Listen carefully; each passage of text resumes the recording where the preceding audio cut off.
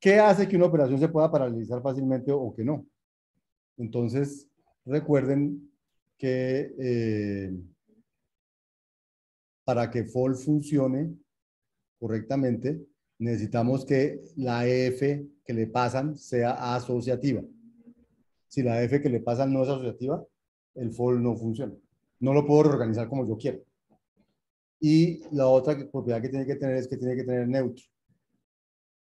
Entonces se dice que una operación que tiene neutro y operación binaria y la operación que tiene neutro y que es asociativa se dice que forman un monoide.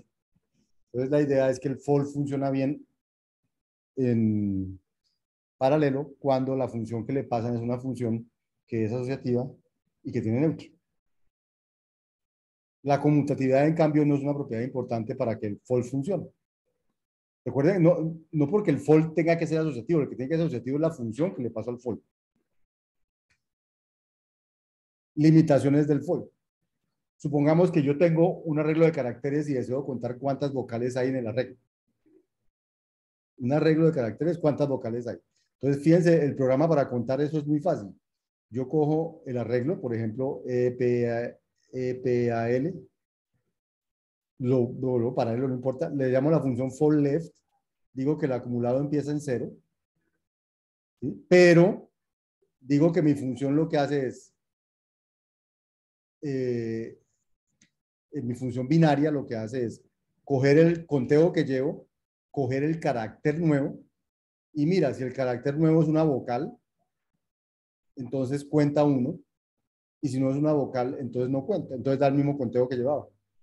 O sea que eh, mi función binaria es una función que recibe números y caracteres y devuelve un número. O sea, no es una función que reciba números y números y devuelva números como función para que, para que pudiera usar fold. Entonces yo no puedo usar fold porque el fold va a fallar, porque el fold debe recibir del mismo, de A y A y devolver A. Del mismo tipo, las dos cosas para devolver del mismo tipo. Pero aquí este no es el caso. Entonces no podría usar este tipo de cosas, reemplazarlo por fold. Hay casos en que no puedo porque la función, acuérdense, fold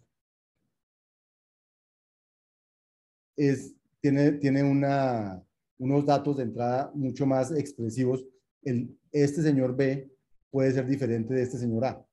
La función fold left. La función fold, este señor B debe ser igual a A.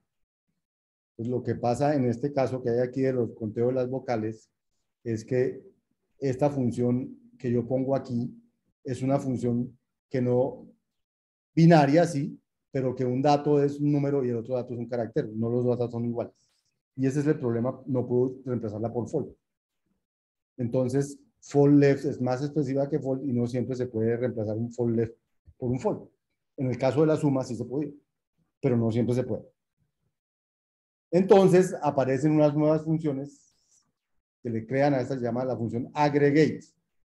Entonces, para resolver esa limitación, se creó la operación agregar. Entonces, agregar está parametrizada en un tipo B y agregar lo que dice es que si me entra Z, que es como del tipo del acumulado, y una función de B en A, que, devuelve B, y otra función que sí dice cómo hacer con los B del mismo tipo, con las dos cosas del mismo tipo, devuelve algo de tipo B. Entonces, aggregate distingue la operación binaria del análisis de la operación de agregación o de acumulación. Entonces, para la acumulación suma números. Pero para decidir qué número sumar, entonces sí mira entre un carácter y un número. Digamos, cosas de ese estilo. O entre un número y un carácter.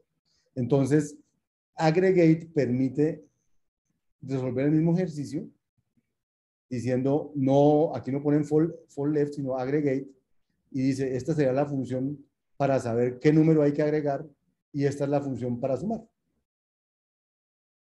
Y entonces con eso se resuelve y esta función sí se puede paralelizar. Entonces aggregate es una combinación que sí es paralelizable de for left con fold. Y entonces con aggregate uno puede, entonces dependiendo de cómo exprese uno su solución, la cosa puede ser más paralelizable o menos paralelizable.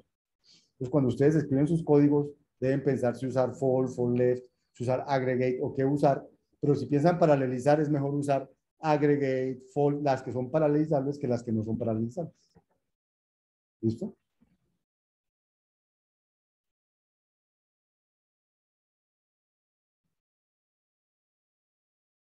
Bien.